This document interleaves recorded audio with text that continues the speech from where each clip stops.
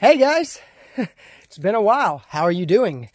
Um, we've got an update today. I am currently cleaning the chicken coop out. It is dirty, nasty. I've gotten most of it cleaned out. I started to put new stuff in there and then realized I need to clean out the individual nesting boxes. So I'm here cleaning out nesting boxes and I noticed something that is very interesting that I think you guys are going to enjoy.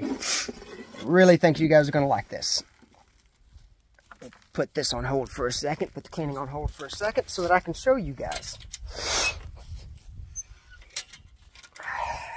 There's our happy chickens. They're all there. And if you look in this little nesting box,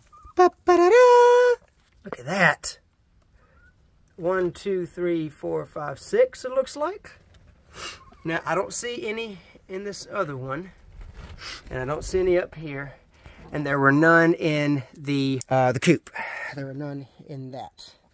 So we've got six, which is good. Uh, we don't know if they're fertile or not, so we're going to just let them sit there, I think, uh, and see if they hatch. If not, it's just six eggs. It's not that big of a deal if they go bad.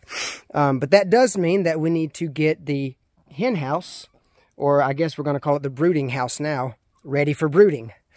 Um, put Chester in there with one of the other lucky ladies and let them have their chicks.